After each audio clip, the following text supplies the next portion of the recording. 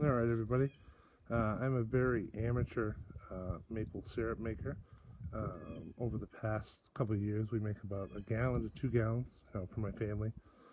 And part of the problem is cooling off the boil every time we add sap. So I came up with this idea for a preheater. So it's a coil out of a water boiler, uh, hot water, domestic hot water heater. Uh, it's got a couple of leads coming off the back of it. You can see the uh, cap for the stovepipe there. We've got another cap without holes in it uh, for when you run out of sap. Got some soft copper with a compression fitting there. My bucket with a valve, about 10 feet of vinyl tubing, and then the chimney T. So the idea is that's going to slide in there.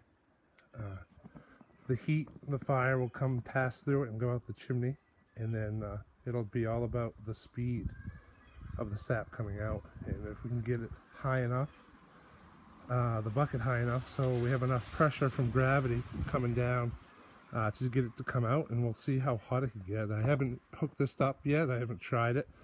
Uh, so I'm gonna make a couple more videos uh, get it all set up and then we'll try it with water and then we'll try it with water and some fire. And if everything goes well we'll try it with some maple syrup we'll see how hot we can get it. So stay tuned